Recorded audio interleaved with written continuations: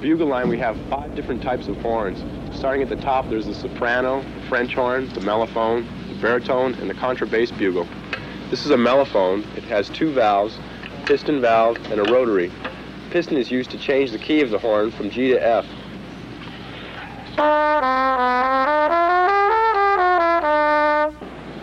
And the rotary valve is like a rotary on a French horn, and that's mainly used for half tones.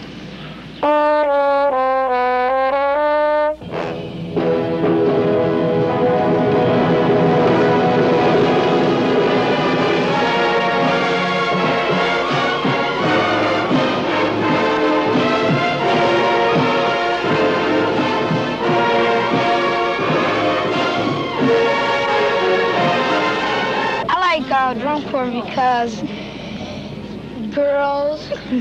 what was I supposed to say? Uh, we practiced all winter and we're still learning new things. What was I supposed to say? I like to travel. Excitement, girls. Really great. I like it even better than dancing. I never thought I had any, had any special talent. We like everything! Drum corps gave me quite a bit of a broader view of the world around me. I was able to uh, see a lot of cities and talk to a lot of people and meet a lot of different kinds of people, a lot of different ideas. It really helped round me out. Through the years, I'd like to think that my music has maintained a certain degree of creative and technical excellence. The mainstream, the stimulant that keeps my music alive and well are the young, extraordinary musicians in the band. I'm Stan Kenton, and you know, I like drum and bugle corps because it's a place where that special talent can develop. But more important, it's a unique form of musical education offering as much or more in the development of the total person than studies in English, history, and the rest. The drum and bugle corps story starts at 6 a.m.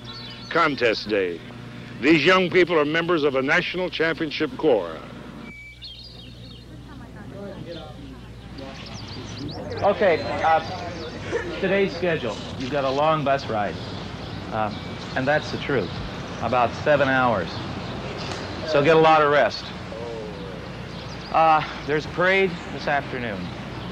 As soon as we get there, we have to do this parade thing. After the parade, that is, we're going to work on the exit. Because we've got to get that together. We've got to get you off the field. The contest is at 7.30 tonight. So we'll eat after practice, uh, dress, and go to the contest right away. I think that's about it uh, for the day.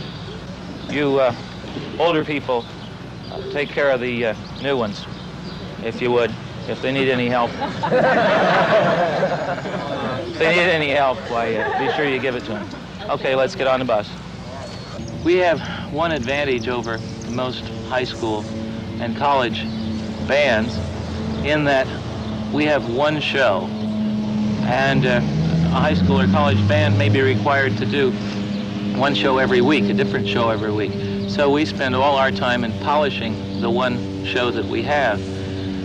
Uh, that's really what drum corps is all about, uh, perfection. And that's exactly what we strive to do. Every minor flaw uh, in the music, in the marching, in the percussion section is worked on we uh, get to the point, hopefully by the end of our season, which is usually in August, where we're fighting for one-tenth of a point. And we may take 15 minutes or half an hour or two hours uh, to try and get rid of one tick or one error, a tenth of a point. Uh, as far as the dedication the kids have, they have to have it because this is what a top drum corps is all about it's a different type of individual uh, than you find usually in, in any other type of group. It's more comparable to a football team or a basketball team, a professional group that practices hours and hours on a set play in order to win. And that's why we practice hours and hours, in order to win.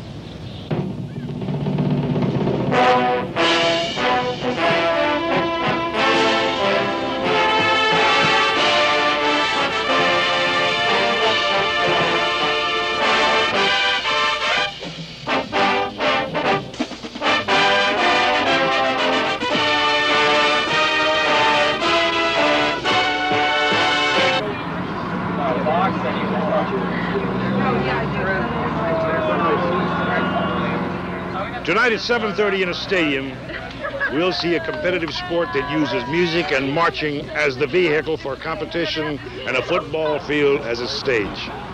Earlier I mentioned creative and technical excellence.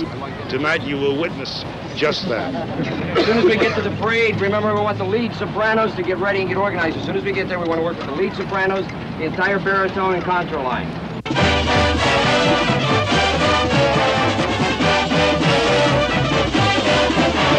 Mark is one of the new members of the Corps. Tonight will be his first competition.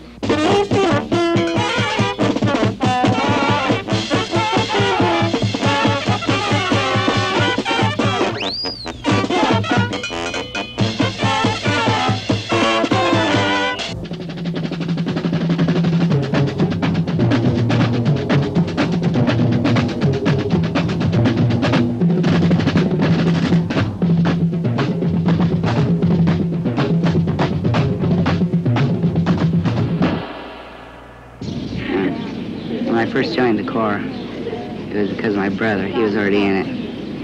And when I first, I came to the place where we were trying out, and I was pretty scared, scared because with other things like, I guess, Little League Baseball and other things, um, people, they don't really, you know, come up to you right away and start talking to you. They'll just stand back for a while and look you over and say, well, do we like him or don't we like him? Well, with the Corps people, they just came right up to me and just started talking, asked where I lived and, you know, all the stuff.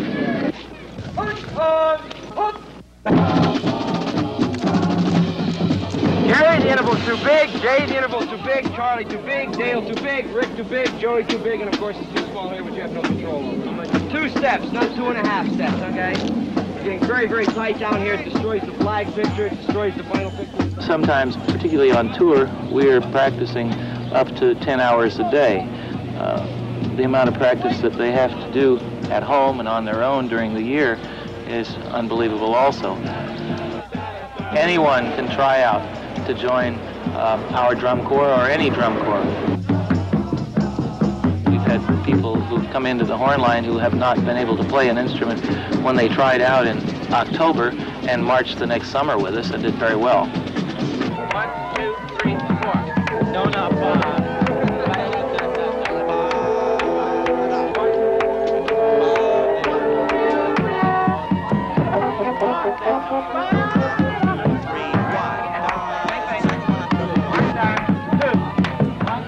They do get ticked off with all the practice and all the marching,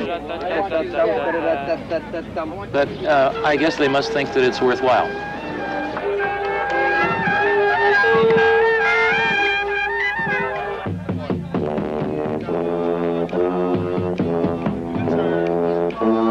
You either stay, you come forward six, or 12, or 18. On your first count of mark time, you turn the head to the center and dress the line. Beth, you were six counts late turning your head. Your squad was like four steps out of it the entire time. Then you turned your head, which was too late. With, with the pull You off come and not putting it forward, together. then snap the head for six, then back again. Going clear back here, slow it down, and from there it goes, creating the Pulaka problem.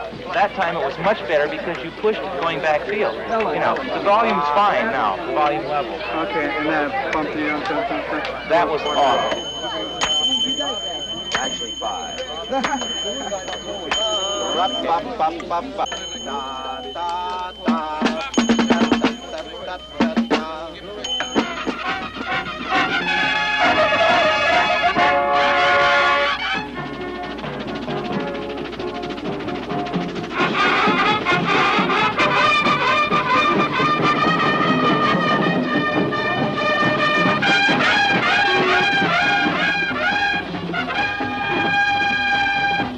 No, again, again, you're not concentrating. Back to the starting line.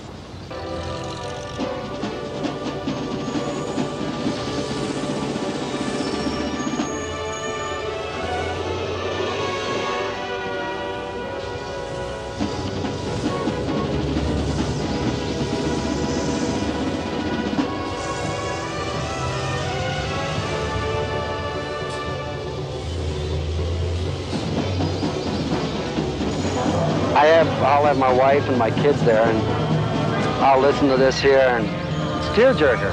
I'll sit there and I'll pretend I'll put on my sunglasses, bring out my handkerchief, and pretend I have to blow my nose in it. I just love it. Just really fantastic. And I know if people would get out, that they would love this sort of thing.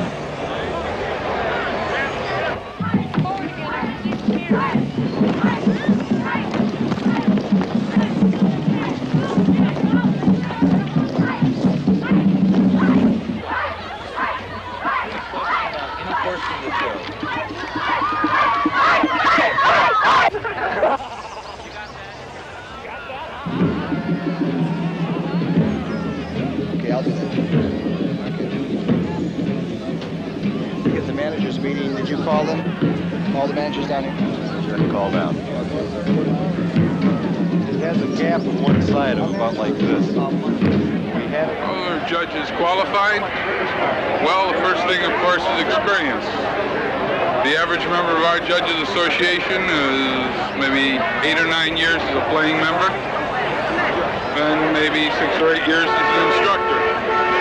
Then and then only can he even apply for membership as a judge. Now, uh, the scoring system is divided between giving credit for excellence in performance, while at the same time subtracting points for flaws and mistakes. A perfect score is 100 points, and the winning corps achieves this high score by having an outstanding program and performing it with the fewest mistakes. There are a total of nine judges, six on the field and three sitting high in the stadium. Three of the field judges record errors in bugling, percussion, and marching, deducting one-tenth of a point for each error. Two of the judges are evaluating the content of the corps' performance, and they give credit points. The sixth field judge checks timing and marks all sorts of penalties. The three remaining are the general effect judges.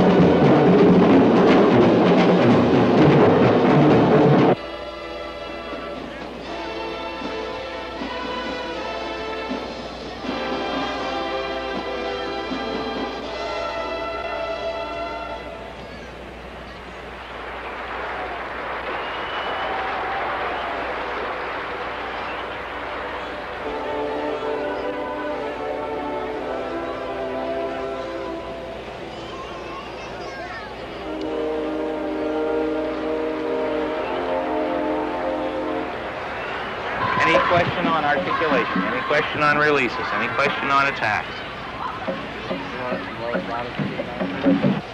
From California, ladies and gentlemen, the Santa Clara Vanguard. Judges and timers ready?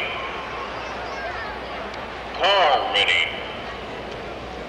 Santa Clara, you may enter the field of competition.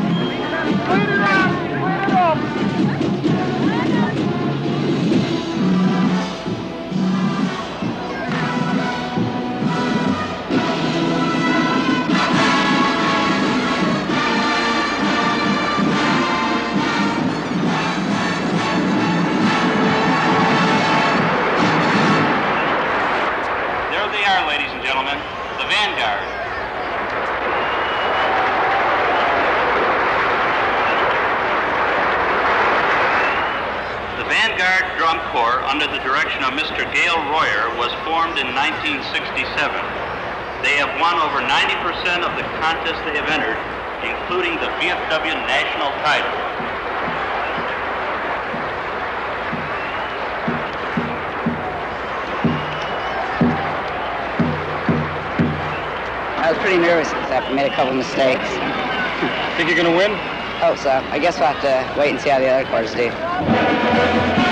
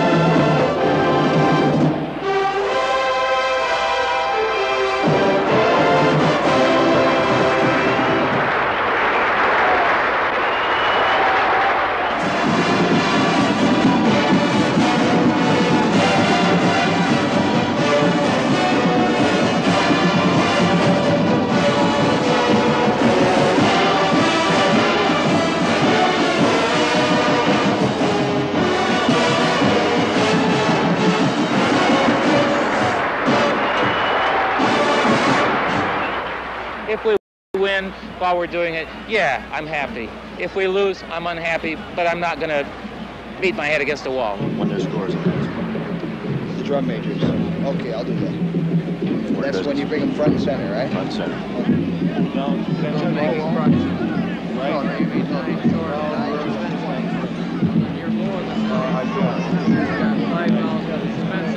Scores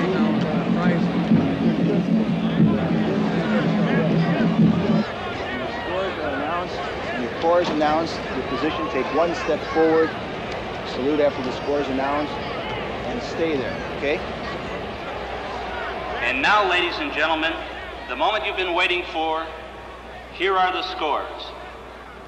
In fifth place, with the score of 71.15, the Anaheim Kingsmen. In fourth place, with the score of 72.45, the Kilties.